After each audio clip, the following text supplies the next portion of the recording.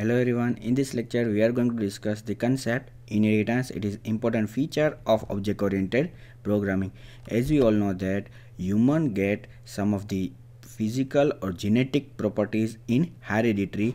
Suppose here this lady is getting this left green properties from her father and her father get same property from his mother. So this left green property is inherit her child and the same property is inherit to grandchild as well.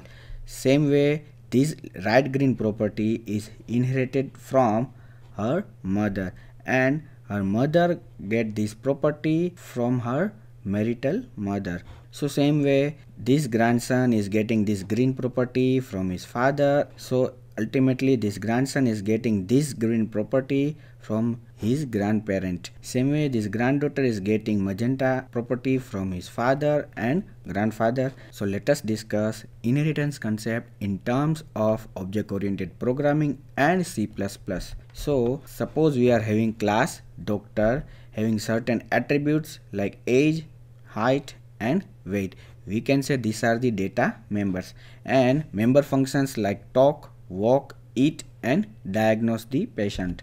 Here is the class footballer having attributes like age, height and weight. It is very similar to attributes of class doctor and methods like talk, walk, eat and play football. Another class, class businessman having attributes age, height and weight. Methods talk, walk, eat and run business.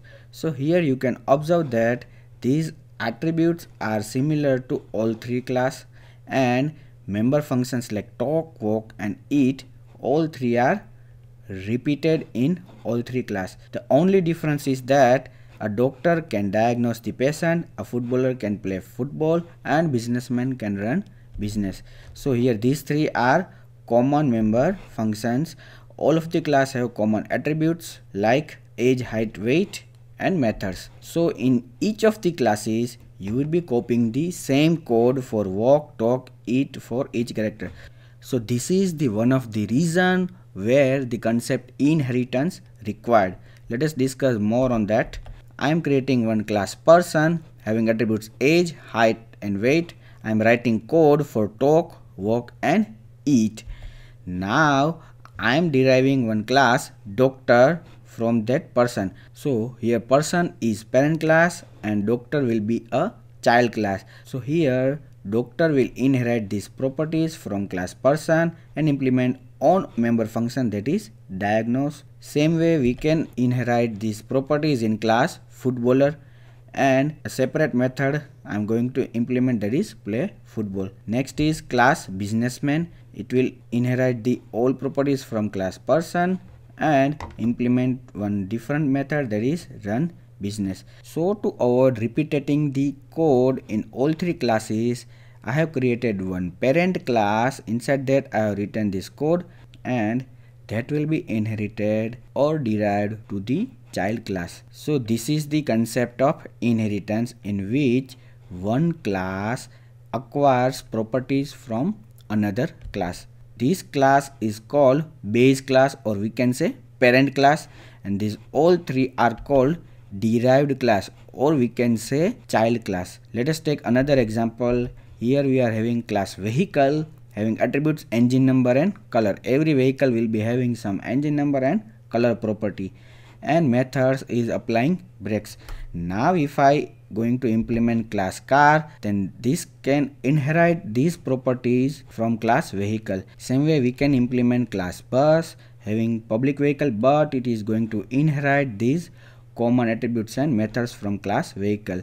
And another class that is truck it is having goods vehicle and going to inherit attributes and methods from class vehicle. So we can say inheritance is the process by which a class can acquire or reuse the properties and methods of another class so if you are deriving one class from another class it is called inheritance and that old class is called base class or parent class and the new class is called derived class and child class.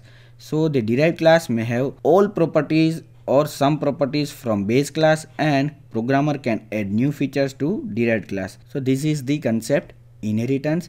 now let us understand how to implement this concept in our C++ program. So first of all let us understand the syntax. Here is the syntax you are supposed to write class that is keyword then your class name access mode base class name and body of class. If you are creating new class then you are supposed to write access mode and parent class or base class. Let us see example for more clarity. Here I am having one class person and inside that I am having some variables and member functions. This is base class. Now if I am creating new class that is class doctor and I want to derive some properties from person. So I am supposed to write colon then access mode and base class name here doctor is acquiring the properties from class person and this class will be derived class here the new thing is access mode. We already know public and private access mode. The new access mode is protected. So if access mode of base class is public then all the public members of base class will become public members of derived class and derived class can inherit some or all features of this base class. And here a doctor class can inherit the properties from more than one class as well. So if you want to acquire properties from more than one class you are supposed to mention number of class over here.